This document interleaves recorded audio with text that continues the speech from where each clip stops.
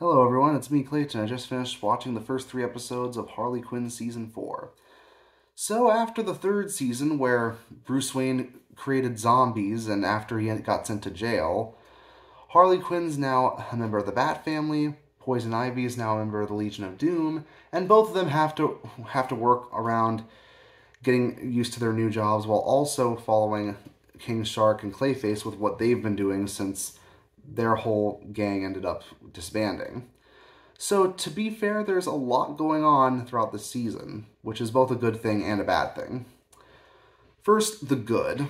Harley Quinn and Poison Ivy being put into unfamiliar roles does allow for a lot of good comedic potential, especially since, since Harley isn't exactly privy to the no kill rule for the Bat family, which obviously gets her in, tr in trouble with them quite a bit, and her having to learn uh, how to handle situations from Alfred, of all people, certainly is pretty entertaining. I just never expected Harley and Alfred to have any connection together. On top of that, Poison Ivy's whole deal with her trying to create socially conscious evil, that, you know, with her environmentalism gimmick, that that's actually pretty funny. The idea of doing uh, of doing villainous things but with a good cause in her respect is kind of inherently funny in its own way especially since she does her best to screw over Wayne Enterprises for, for their for their business practices because they harm plants too.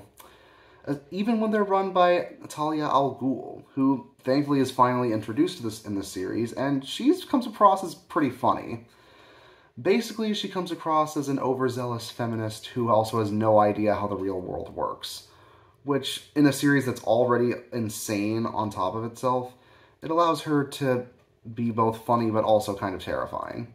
Which, if you're going to do a comedic take on Talia al Ghul, is probably the best way to go about it. On top of that, there there's some fun jokes that happen in in the in the Lexor Hotel. You know, like it's the Luxor Hotel, but owned by Lex Luthor. That has stuff like villains having death matches and and having grenades that are actually chocolates and chocolates that are actually grenades.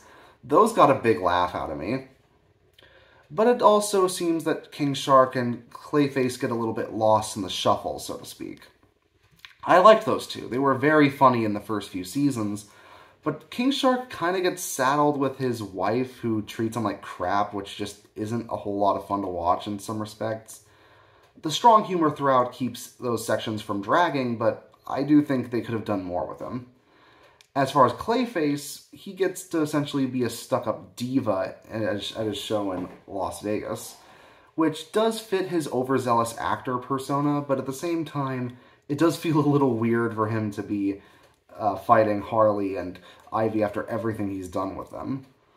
Then again, when it comes to how chaotic the show is, a lot of the great action scenes end as quickly as they start, as do the jokes which is good when when certain jokes really flop, so they just move on to another joke without having to think about the one we had just had for too long. This is why I think Harley Quinn's comedy works the way Velma's really doesn't. When a Velma's jokes bomb, they bomb so hard and just get worse with every uh, subsequent joke that they try. With this show, even if a joke bombs, they just move on to the next one without you having to think about it for too hard which can work when you have to go for rapid fire comedy, especially for a character as chaotic as Harley herself. How's the rest of the season going to go? I have no idea. But it has it's a pretty good start so far, even if I have a few concerns. See you next time.